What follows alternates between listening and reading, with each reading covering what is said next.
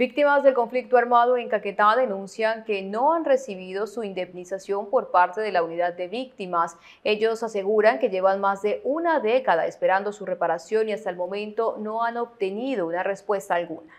Estoy de mucho tiempo, yo estoy, llegando a la, al, al aguao y cada rato me dicen que, que todo está bien, que todo está bien, que no sé qué, que ya está listo los que ya está aparato para el pago, pero no me llama ni nada, ni manda mensaje, nada. Yo quiero saber si van a pagar o qué pasa o por qué no la entrega. Hay mucho, mucho necesitado aquí en Florencia Caquetá que son desplazados, pero a ellos tampoco le han dado nada.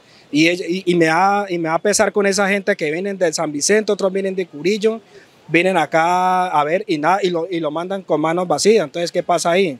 ¿Hace cuánto ustedes eh, como familia están padeciendo la eh, situación? Exacto, en, hace 2000, en el 2001 más o menos así en esa década. ¿Ustedes son víctimas? ¿Ustedes fueron desplazados? ¿Qué les pasó? Somos desplazados. Mi, o sea, mi padre, que, que está, él vive, pero entonces él no está viendo con nosotros por el momento, él sí fue desplazado.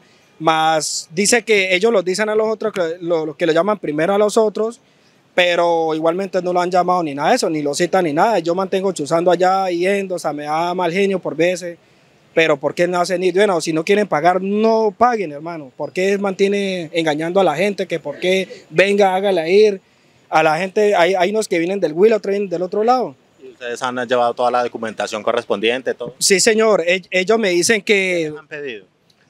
Me han pedido siempre, no, el número de cédula y número de celular. Todo está actos, todo está bien, los papeles están bien remitidos, todo está al día. Pero eso es lo que me dice la, la señora, la, la doctora pero solamente toda hora que voy me dice eso.